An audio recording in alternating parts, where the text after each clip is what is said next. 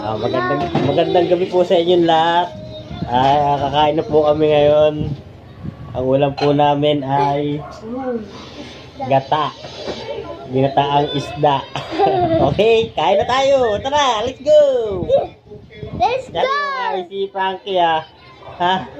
Tingnan natin kung kakain niya. What? Ano yan eh? Papili sa pagkain eh. Chicken! Kunti lang yung kanin. Kain na. Sige na, Wow! ano, masira, maaayos eh. Diba? Uh, diba? Naayos yan. Di ba, Papa?